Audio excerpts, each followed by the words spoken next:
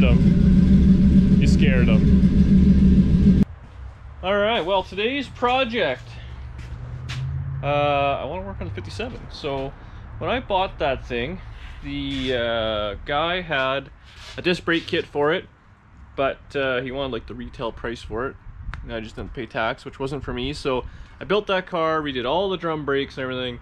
And then a few months after, he's like, ah, I'll sell it. Well, at that point, I was kind of pissed off because I just put all brand new drums in that thing.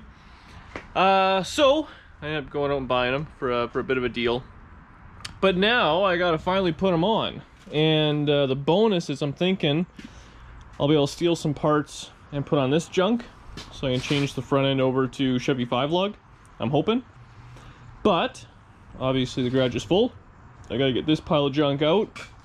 So I'm thinking, so I can just kind of scoot it in right there uh, where all this uh, garbage is. Uh, then I can kind of pull it back in easily. So, step one, get all this kind of crap cleaned out. That way I can just kind of push it over. Danny actually took 57 to work today. So got a little bit of room to work with.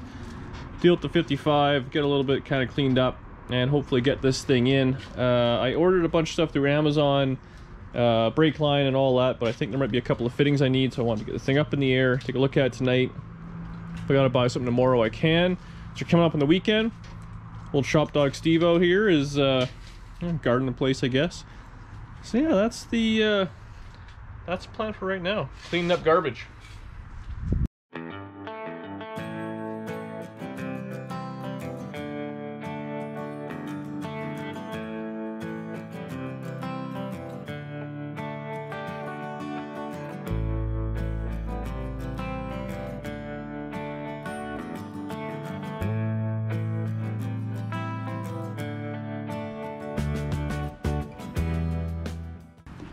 All right, so little area is kind of cleaned out as good as it can be. I'm gonna move this little pop-up tent I have. I'm hoping I can just steer the thing right in and then kind of swing it over with the floor jack. It'll fit just right against the garage. But uh, maybe I'll just run a quick tape on it, make sure I have enough length. Otherwise I'll have to go up beside it. But that way I can still have a fair bit of room and maybe even still park two cars. Let's be honest, that's pretty important. Uh, shortened up the winch line a little bit so it won't take off on me. Steve's in the backyard for safety, so yeah, get after it. Did you hook it up to the winch at least? Yeah, the winch is the safety if it all goes horribly wrong.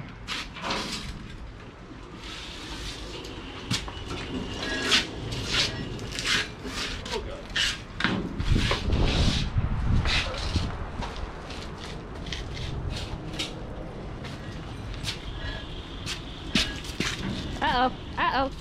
What? You're gonna crash.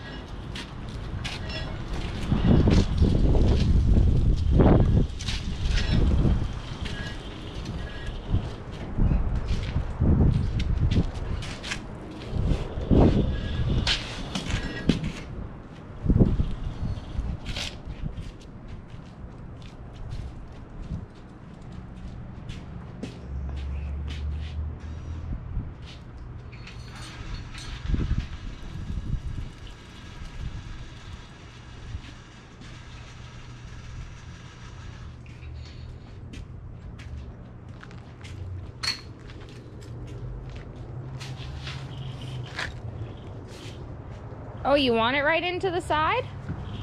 Into the what? Into the side? Yeah, I'm gonna try and jam it up there, then slide the rear end over, but caught the.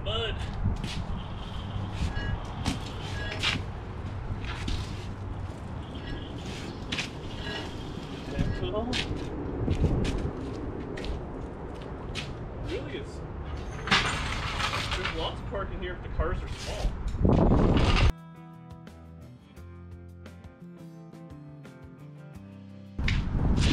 Is ingenuity at its finest. Well, they don't have much room or a small item. I know how to work it. Well, you know how to work those big items too.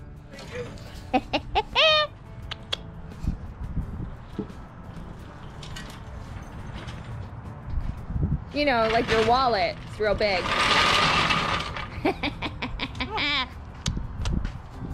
Double zing! Zing zing!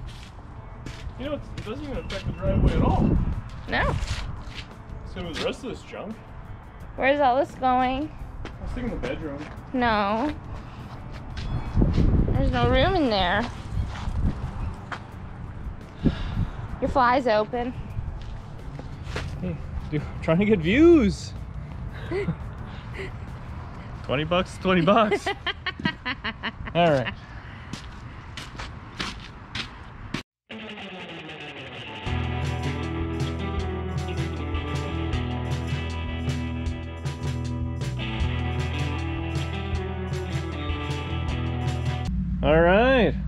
We got her all shined up. Danny just fired up the old hot rod, so I think she's gonna bring her in for me. She's good like that. Hopefully she doesn't run over her uh, award-winning prize dog.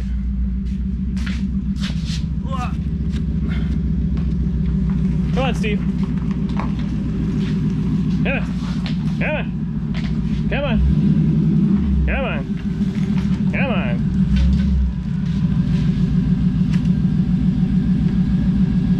Gentle. Gentle. Been a while since she's parked in a garage.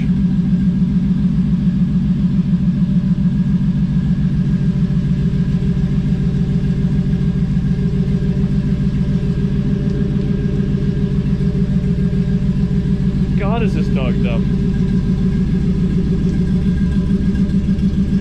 Perfect.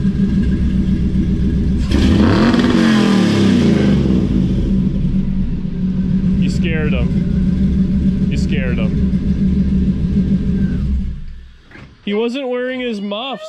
He wasn't wearing his muffs. Okay, baby. Just idling for eight seconds around the limiter. Hi. All right, well, supper time. We'll come back out, jack this thing up, take a look at it. Well, so the car's in the garage.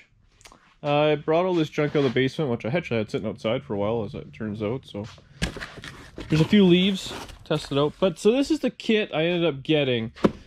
So again, it's a right stuff kit. Uh, so it's just a power front disc. Now it's a nine inch booster. I know they made an eight inch as well, but when uh, the guy was building this car originally, it was going to be a small block car. Not small block. Four door. So there's lots of room. Now I know what the LS is and stuff like that, especially with those side covers I have. I'm hoping this will still fit. They do sell a little piece that moves the uh, master over and up, but I'm hoping it'll be okay. I do have those slide mounts, and when I put the motor in the car, I did have it as far ahead as I could. So fingers crossed I have enough room. But this comes with all the little, most of the lines uh, for the master itself, new adjuster and stuff like that, proportioning, or whatever it's called, metering block, I guess. So it's got all that, which is awesome. What I was waiting on was uh, all this stuff. So I, uh, Amazon took forever, but this nickel copper uh, brake line, which I just love. I actually found a brake, uh, a line lock, some miscellaneous ones. It looks brand new. Hopefully it'll work. Uh, but the kit came with everything, so it's got new, uh, you know, dust shields. These are the uh, adapters. They're going to join the factory spindles to a modern style, you know, single piston GM sliding type unit. And brand new discs. And then uh, with the races already in them, I guess.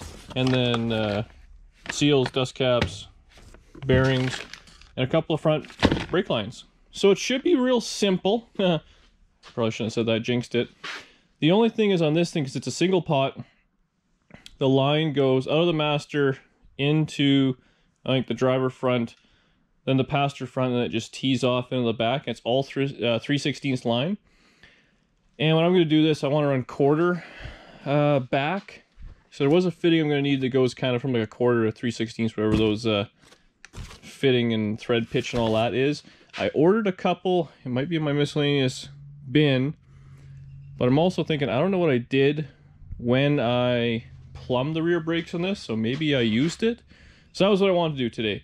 Was I got all the stuff out because I was in the basement. Stairs are a pain when it's uh, heavy. So I'm going to lift this thing up, get it there, see what I need. Because if I need any parts, I'm kind of limited till tomorrow to get it. And I'm hoping I can bang this out in the weekend. I did discs on the 55 and it went slick. There was no issues whatsoever, but I didn't run power. I just ran uh, manual brakes. So I guess worst case I could just put the the master in with no power if I had to for the time being, but yeah, I'll make it fit somehow, some way. But yeah, I'll get this thing jacked up, we'll get under it. All right, well I got her up on stands. Uh, the problem is I ran regular 316 brake line to the back and I didn't use that fitting. I looked in my storage bin, I can't quite find it just yet, so I'm gonna go check inside, but I don't want to start taking this thing apart if I don't have this little fitting because I won't be able to connect uh, the line to the rear brakes, and I don't want to be stuck in that situation. So Amazon has the fitting, that's where I got last time, but right now it's like a week away. So I'm hoping a local parts store will have it tomorrow. We'll go from there. So I'm going to call it here tonight. I don't want to get started on anything because uh, I just had to redo it because I don't want this thing out of commission for too long. So I'll be back at tomorrow, hopefully with the fitting, and then I'll knock this thing out in a couple of days, I'm hoping. All right, next day after work. So I actually couldn't get the fitting I wanted, which was a bummer. But as it turns out, uh, I just got another complete rear brake line. So my issue was the rear brake line on a Tri-5, uh, the female end to the, to the hydraulic line is like a 3 16 style uh, brake line. And then obviously it goes to 3 16 to the drums. But uh, with this new kit and all, I'll probably run quarter inch back. So this one will basically, I'll just change this. It'll be quarter inch to 3 16 And this was actually uh, the same price as a stupid brass fitting, $15. So, whatever. I'll keep the other one, toss it in the toolbox. I also got this in the mail today. It's like, I ordered it. For all DeWalt stuff, but it's like, I don't even know, some Chinese no-name brand uh, dual charger with these uh, batteries. So I don't know if I've ever used them. I've never used them before. If you guys have, let me know what you think of them, or I should expect. Because I've been having these DeWalt ones forever, but uh, it's never enough. You never have enough batteries, it turns out. So, anyways, gonna pull the wheels, uh, get the stuff kind of organized, maybe on a shelf or do something. Start pulling the master cylinder off and uh, the whole front end apart because that's gonna have to change and start fitting this together. The other kit, what I did was really easy. Uh, the only thing was on the other kit I had, which was a no-name one. This is like a brand name on 55, but the brackets had the uh, calipers on the front, which is a little weird. So I had to weld on tabs and what else did it have that was weird? Forget. But oh, I had to drill spindles for the cotter pin, which was also a nightmare, drilling that hardened spindle. So I'm hoping this kit's a little more thought out. But, eh, I guess we'll see. So I'll get this tore apart, and I'll bring you back. Okay, so I jumped ahead just a little bit. So, the instructions are terrible. They're actually meant for a non-power brake setup. But this was my biggest problem I thought I was going to run into was would the master and all that fit so I had to take off this cover which is no big deal and all I otherwise had to do was uh, get this light in a good spot I had to remove this one uh, this one coil. It wanted to be right in the fat part of the cylinder or the uh, the booster. So I'll just kind of move it back I'll put a self tapper in it and it should be uh, no big deal. And then once that's all together I'll have to do some trimming uh, on here, probably just kind of like a, a section like that. Obviously it's meant to go in, I guess, for, for a booster or whatever, but I'll probably take this section out and it'll just kind of flap in the breeze there. But that was the, the main concern, so I'm stoked on that. It looks like it'll be just fine. It came with a bunch of adapters to get to the factory pedal, which I have in there. So yeah, that's good. Uh, it's a bit of a pain to get this on. You got to like eighth of a turn on a wrench the whole way on, so I'm to get that on there. I can always take the master off the booster to, to bench bleed it or just do it right here and have Danny step on the pedal. But uh, yeah, that's a big sigh of relief. So I'm going to get this kind of cinched down. I'll start pulling the wheels off and we'll get into the actual uh, brakes themselves. Well, uh, it was important. I wanted just to make sure that uh, everything fit together. So I had to trim up this back panel a little bit. Uh, the coil, I ended up just because there's a top and bottom mounting hole. So I ended up using the bottom hole of the coil and mount it on the top so simply moved it up one coil length uh, it did put a little bit of strain on the wire it's definitely at the end of its uh, pull so I could always make another one or whatever I have to do uh, if I remember. But I put it all back together everything fits uh, trimmed around the, the master. So it's kind of tight but looks okay. I'll take it off and kind of clean it up with some sandpaper because there's some jagged cuts. But that was a big concern. So that's uh, that worked out slick. Uh, I got to run a vacuum line to the back of the intake. This one actually had a, uh, it was plugged, and I have another manifold that has a proper uh, nipple on it, so I should be able to pull that out, put the new one in, go from there. So that's uh, that's a big sigh of relief right there. That was what I was really worried about. So I'll uh, yoink these wheels off, and I'll start uh, taking all the hard line and all that stuff off.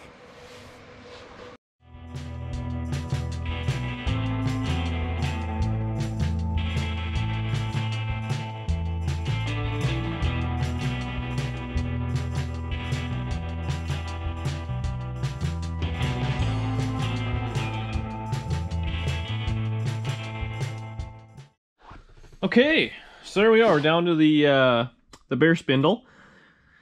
Pretty simple stuff. I know a lot of people are kind of scared of drum brakes. Worst taste, uh, take a picture, Google it, do whatever you gotta do. I'll clean up the spindle and all that. Uh, all I did was I basically just took the uh, shoe off, uh, the drum. These are actually off of a more modern vehicle because Tri-Fives had uh, roller bearings I think no ball bearing, whatever it is, and these are tapered bearings. So th this is actually a nice setup to have with the uh, the hub and all that. So it works out pretty good. And then these shoes were brand new. You can see that drum is still brand new. And I think, I mean, odds are it looks like I put new wheel cylinders in too. So this is actually a brand new setup. I'm hoping I'm going to be able to make this all fit on the T. Because it's a Chevy truck axle, which will then switch it over to five lug car pattern. This is all brand new stuff. So that's plan. With this, as I recall in the other kit, I'll probably read the instructions, but I mean, pretty simple. Pack the uh, pack the bearings with grease, slap those on uh, like you would uh, anything else. There is a caliper setup to put a, it's just, you know, GM slide style caliper. I believe it used this and something like that. Just kind of hold it, very simple setup and then just a uh, the caliper went on its little thing and then it had a hydraulic line that went to there. So shouldn't be too big of a deal. I'm gonna get that kind of all set up maybe on this side. We'll go fast motion on the other side and then I'm actually gonna take a little bit of a break. I want to put this on the computer and see how long it's gonna be. I don't want this to be a crazy long video so maybe I'll do it in two parts if I have to. But yeah that's how it's turning out. All right so here's the disc brake kind of caliper and uh, the dust shield. Uh, I gotta say, I'm actually pretty unimpressed with this kit so far. Now, I bought it used, but it was brand new. I mean, the guy who I got it from. Uh, so the way it works, you replace the, uh, this upper bolt. This is where, like, all the springs would have attached. So that's all fine and good. Now, the kit came with these two washers. So on later model cars, you have to use this as a spacer. And then it's supposed to come with two of these because uh, as you put the uh, bracket for the caliper, uh, it's the thickness right there. Uh, so that space is actually the steering arm away from the bottom of the spindle. Well, the front now doesn't have anything, so it comes with a spacer. Now the problem is, this kit, and it was brand new bag I just opened up, it has three of these ones, which are meant to go on there, and only one of these, this is the mounting hardware that fits like that. So, uh, you can see right there, I ended up just stacking washers together that worked out to be the same thickness. But again, I mean, it's just kind of sloppy work so far. This thing is a little meh, but whatever. So that's on. Uh, I guess I'm happy with it. The instructions are terrible. The instructions don't even mention the dust plate, so I actually put it all together and then realized oh, I gotta put that on too. Uh, so that's that. Uh, I think the next thing I'm going to do, I guess, will be install the bearings and seals in the rotors, which are over there, and those are the bearings and stuff like that. So I should be able to slap that on, and I should be able to bolt the caliper on and kind of show you how that works. I think I'll do the other side just in uh, fast motion. But uh, yeah, so that's that. Alright, so these are the rotors that came with the kit. They already have the inner races pushed in, so that works pretty good comes with this kit or bag of miscellaneous. So it's going to have inner and outer bearings, a couple of dust seals, and this will be your uh, cap. So, pretty simple. Uh, I guess it should all be different. There's going to be one that's going to fit the back and one that's going to fit the front. And that one goes there.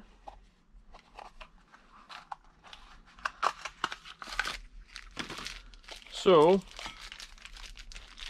big and small, big one goes in the back, small one is for the front. Now these don't have any grease in them, so we'll have to get some. Uh, so I'm sure you guys seen it, but you just kind of pound a bunch of grease in there, slap that in there. This dust seal is going to go like that, and just kind of knock it in with a block of wood or something, but we'll get to uh, packing some grease.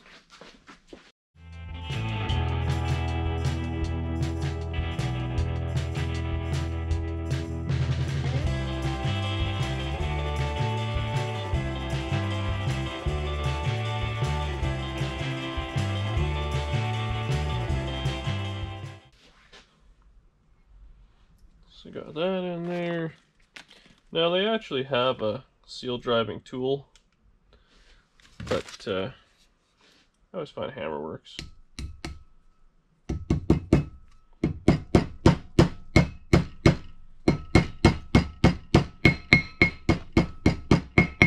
You just want to make sure when you're going in, you're kind of working it back and forth. You want to force one side in the other, it'll just kink. Perfect. So that's that.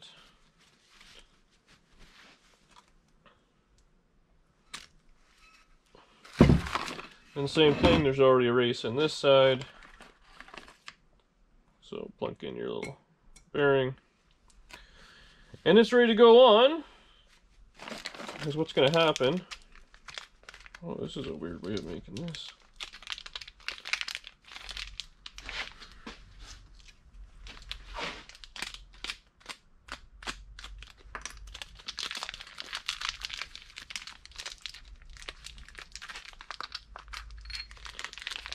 What's going to happen, the spindle's going to fit through there. There's going to be a little keyway. That's going to fit on. You're going to have a little castle nut. Oh, you know what they did on this kit? The other one, I think I reused the, uh, the nut, and it was way longer. So this one's quite a bit shallower, so it should work with the standard one. Put that in there, tighten it up, you're going to spin it. Once that's all done, cotter pin it, cap on, you're done. So we'll get back to the car and put this back together. All right, so we're back in the car. As you can see, I took this off. Uh, this is actually probably the second or third time I had it back together and filmed. It'll show up now, there's big scratches in here. This is all bent, or I don't know what the heck it is. When I had it on there, the uh, the rotor was rubbing against in there, and it was kind of causing it to wobble around and stuff like that. So I tried smacking it. Eh, I wasn't happy, and honestly, I don't really care.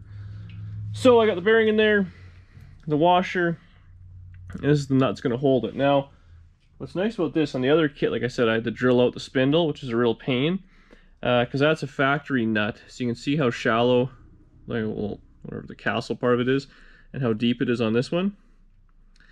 So that'll allow you to capture the hole much easier. It came with some giant cotter pins, so I may have to put a smaller one in, but ultimately, to get this kind of started, Put a little preload on it while you're spinning it to make sure everything is seated. It's perfect. Loosen it off. Just go kind of finger tight. Back it off to the closest one. Uh, yeah. Thinking I need a smaller cotter pin. But that's kind of the gist of it. Nice and spinny, easy, easy. So I'll uh, change cotter pin, knock the boot on. I'll probably blast this off some brake clean. I should be able to slap on the calipers. I gotta say, I'm, I'm pretty disappointed with this kit. Like, I think I paid 300 bucks for it used. The guy had a bill for a $1,000 for this thing. And the instructions are terrible. Uh, if you don't kind of know what you're doing a little bit here, uh, yeah, this will be a bit of a gong show for sure. So. I'll bolt her up. We'll bring her back. Okay, so I got the calipers. Now they come preloaded with pads all ready to go. Take this cardboard out. Now, there's a bleeder, and there's your little uh, inlet for the line. Now these uh, pins, they're threaded, so they'll fit into your new bracket, or my new bracket. And that's about it. So, I'm going to go ahead and slip these suckers on. Now, ultimately, bleeder up. If you don't do that, you will have problems. I'm not too proud to admit I have done that. And then my old man comes by and makes fun of me. It's a whole big thing.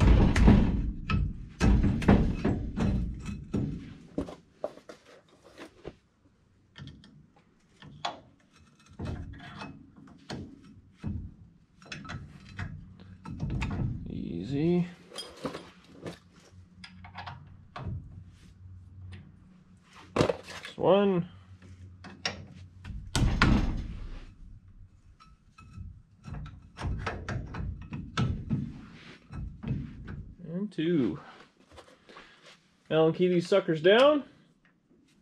And I'm to call these assembled. Let me I'll just show you actually. Get the stupid light. So that's how going to work. Top and bottom.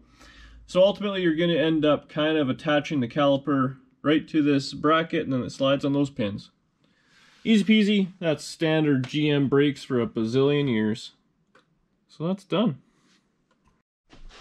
All right, now this side is 100% uh, done, other than this pile of junk. Uh, we're to work on the other side. So, I kind of gave the uh, explanation on the other side. I figured I'd do a little fast motion, make this happen real quick and on and off, and call it.